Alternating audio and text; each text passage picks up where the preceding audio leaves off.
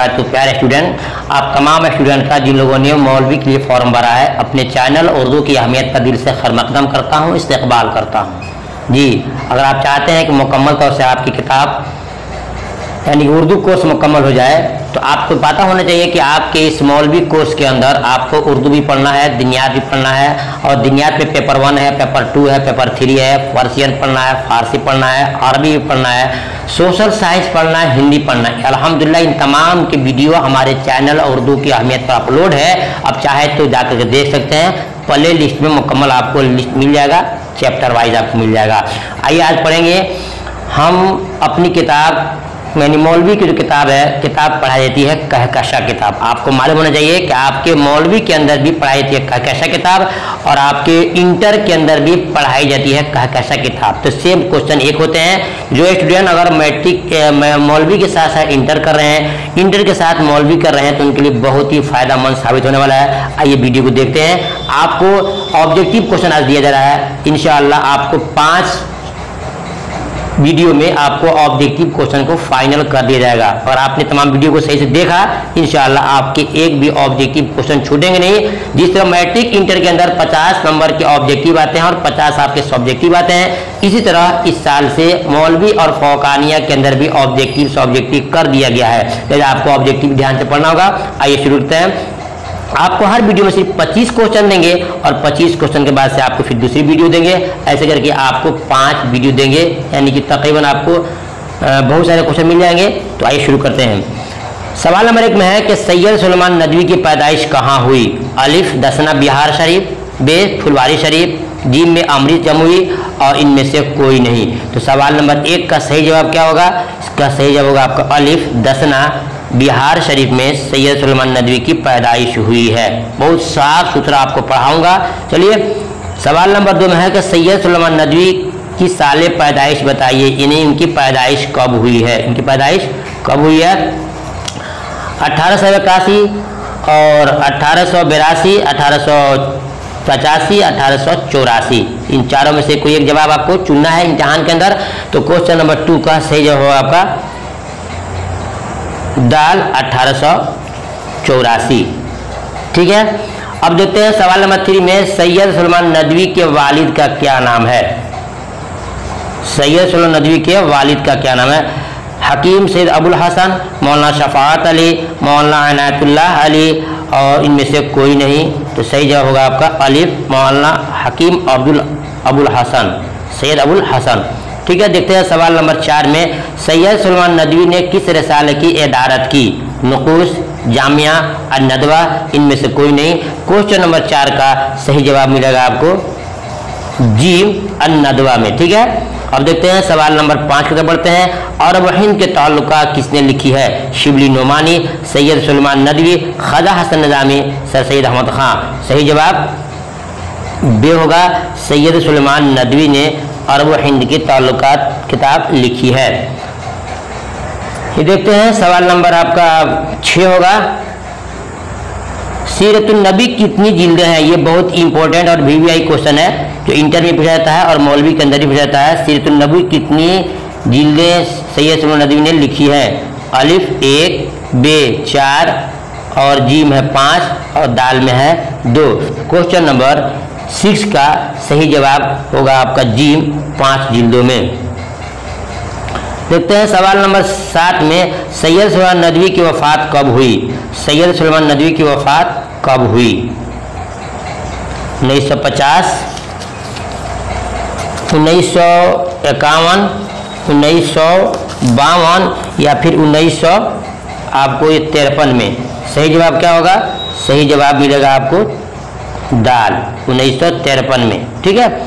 सवाल में देखते हैं, आठ में, सैयद सलमान नदवी का इंतकाल कहाँ हुआ? पटना में, दिल्ली में, लखनऊ में, कराची में। तो सैयद सलमान नदवी का इंतकाल कहाँ हुआ? क्वेश्चन नंबर आठ का सही जवाब होगा आपका, कराची में। कहाँ हुआ? कराची में, यानी कि दाल सही आपका है। देखते हैं सवाल नंबर नौ में सैयद सलमान नदवी किस अदारे से वाबस्ता रहे नदतमा से दारुलमसनफिन से, मकतब जामिया से, इनमें से कोई नहीं। क्वेश्चन नंबर नौ का सही जवाब होगा बे दारुल से। दारुल से। देखते हैं सवाल नंबर दस में मीर अमन क्या तखलुस करते थे? मीर अमन क्या तखलुस करते थे?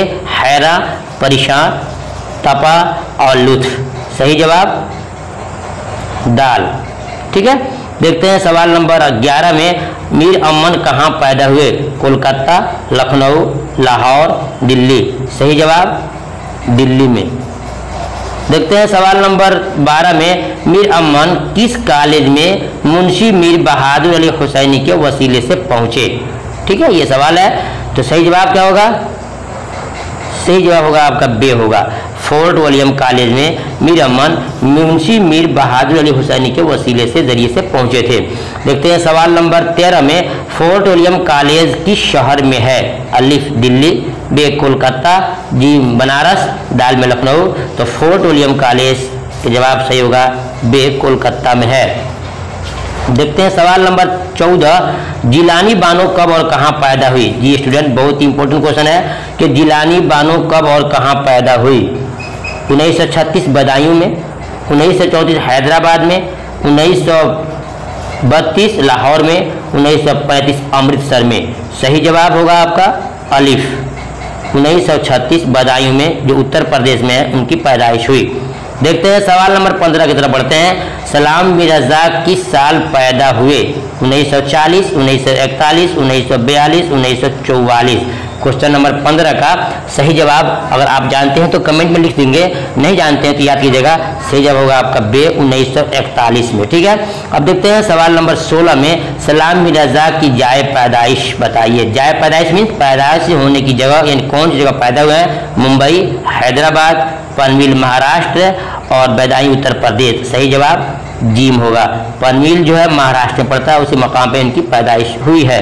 जी स्टूडेंट आपसे मेरी गुजारिश है कि चैनल पर पहली बार हो तो चैनल को सब्सक्राइब कर लेना ताकि, इम्तहान तक जितने वीडियोज़ में अपलोड करूँ, आप तक पहुँच जाए। याद रखिएगा, हर किस्म के, यानी हर सब्जेक्ट के वीडियो अपलोड कर दिया गया। है उर्दू, फारसी, अरबी, दिनियात और सोशल साइंस हिंदी सब आपको मिल जाएँगे। धीरे धीरे आप इंतज़ार किए इन आपको मिलते जाएँगे। सवाल नंबर सत्रह में है, सलाम मिर्जाक फिल वक्त कहाँ मुकीम है? सलाम मिर्जाक फिल वक्त कहाँ मुकीम है? क्वेश्चन नंबर सत्रह है, मुंबई, इलाहाबाद, लखनऊ, गुजरात। मैं आपको थोड़ा सा वक्त देता हूँ ताकि आप ढूंढ सकें कि इसका जवाब आप क्या जानते हैं। सही जवाब, अलिफ, मुंबई में।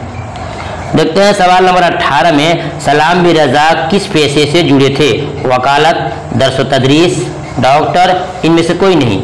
वकालत आप जानते हो, डॉक्टरी आप जानते हो दरसो तदरीस किसे कहते हैं आप जानते हो? दरसो तदरीस किसे कहते हैं जानते हो? ये क्वेश्चन नंबर अट्ठारह है। सही जवाब होगा बे, दरसो तदरीस। दरसो तदरीस में होता है पढ़ने पढ़ाने का काम। पढ़ने पढ़ाने का काम, ठीक है? टीचिंग लाइन अब देखते हैं सवाल नंबर 19 में, सलाम बिन रजाक मुलाजमत से से किस साल सुबुकदोश हुए? उन्नीस सौ छत, उन्नीस सौ छियानवे दो हज़ार एक, उन्नीस सौ अंठानवे उन्नीस सौ निन्यानवे सलाम बिन रजाक किस साल अपनी मुलाजमत से सुबुकदोश हुए क्वेश्चन नंबर 19 का सही जवाब आपको होगा। ठीक है? दाल, उन्नीस सौ निन्यानवे में। अब देखते हैं सवाल नंबर 20 में, सलाम बिन रजा को साहित्य अकादमी अवार्ड किस साल मिला?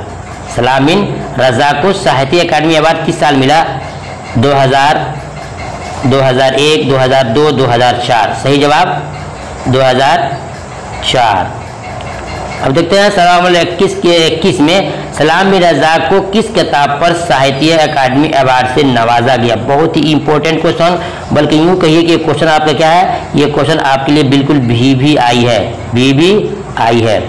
और इंटर इम्तिहान में इंटर के अंदर भी क्वेश्चन पूछा जाता है तो इसका सही जवाब होगा आपका।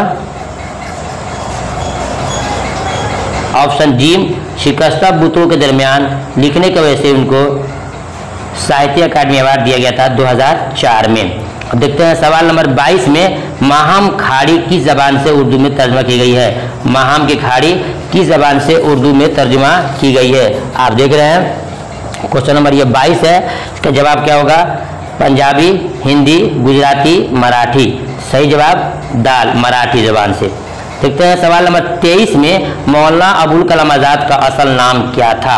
शफीउद्दीन अहमद रफ़ीउद्दीन अहमद, महीउद्दीन अहमद, इनमें से कोई नहीं। स्टूडेंट ऐसा कुछ नहीं है। बिल्कुल जवाब सही है। जी, महीउद्दीन अहमद। जितने आपको ऑप्शन के जवाब दिए जा रहा है, उसको नोट कर लीजिएगा। काफ़ी आपको फ़ायदा होगा। आप चाहते हैं तो आपको इन इंशाल्लाह पीडीएफ दिया जाएगा। ठीक है? तो चलते हैं क्वेश्चन नंबर चौबीस की तरफ़। मौलाना कलाम आज़ाद की साल पैदाइश क्या है? यानी उनकी पैदाइश कब हुई है? क्वेश्चन नंबर चौबीस है। इनकी पैदाइश क्या है?